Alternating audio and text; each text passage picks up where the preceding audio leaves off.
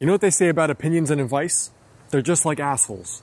Everyone's got one. The problem is when you're in your 20s or you're in your 30s and you're trying to figure out the path to build a great life or to figure out what to do, if you listen to other people, you're gonna guaranteed be going down the wrong path because you're not trusting yourself in the process. Now, what's interesting is that some of my most consistently high performing videos here have been on the best career advice for your 20s and your 30s. So in this video, I want to follow up and share one of the best pieces of advice I've ever learned. What's up guys, Alex Heyne, author of the book Master of the Day. So I've included the first link below this video. If you are trying to figure out your ideal career, you're trying to figure out your dream job, the first link below this video can help you figure out exactly what it is you want from your life and how to make it happen or how to actually find it. So you can check it out right below this video. The big thing for me, especially in your 20s, is don't chase the best job. The tendency when you get out of school or you're in the professional world is to just go find the best job you can get. And that's usually dictated by prestige or the income. Look, when I got out of school in my early 20s, most of my friends got these good jobs that were paying way more than what I was making. A lot were making $60,000 or more out of school, and I was earning like 35 or 40,000 working as a teaching assistant in New York in a high school. But for me, the main thing was that I was always a more meaning and purpose driven person. I almost never did anything just for the money. And so as time went on though, as we inched closer and closer to 30, my friends, their salaries increased. But around their late 20s, they kind of plateaued.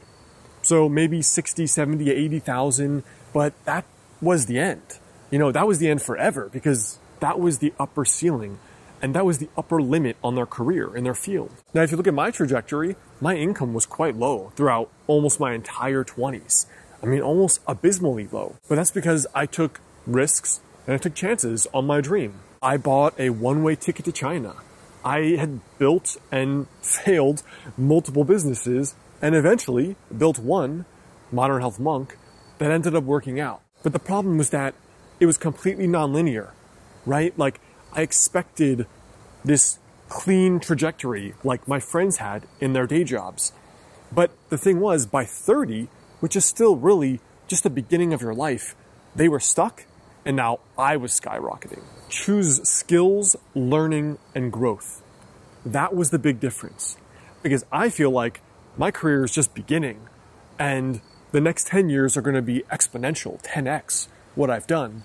But the reason for that is just because I've always chosen choosing skills, meaning getting better at something, choosing learning over money, which means often choosing less money or even working for free just to learn those skills. And then choosing growth, which means even if you're getting paid a high salary, if you don't feel like you're growing and improving and the work is not meaningful or doesn't contribute to anyone, then don't do it.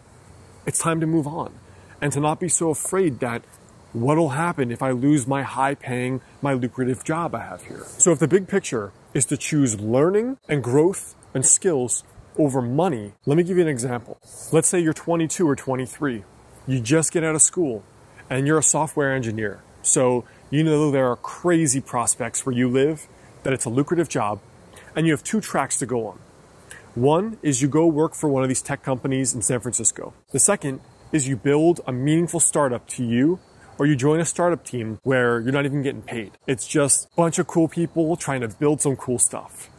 If I were you, if you really want to play the long game, take the thing that is the risk. Take the thing that is learning, testing, failing. There's could be huge, could be nothing, could be in the middle. Because the point is, as you get older, you can always earn more money. And of course, you can always be frustrated by money. But the thing is, the more you value getting better, guaranteed, the more you will get paid, even if that's all you care about. So if you have this, it's like the Robert Frost, two paths in the woods. You take the safe route that's proven, you take the route that's unknown. It's the path through the woods in the middle of the night. But there may be a promised land and there may not be. But if you focus on becoming someone who's addicted to acquiring those valuable skills, to getting better at what you do, and to value your life over your career, which just means you value learning, and improvement over the short term satisfaction, you're to guaranteed be way more successful than you would have been anyway. So I hope that helps. Again, that first link below is for a goal setting worksheet, could help you figure out what it is you really want and how to make the most of your 20s, your 30s, or even your 50s by living a growth oriented, deliberate life. All right, you can check it out down there below, and then the two recent videos right here.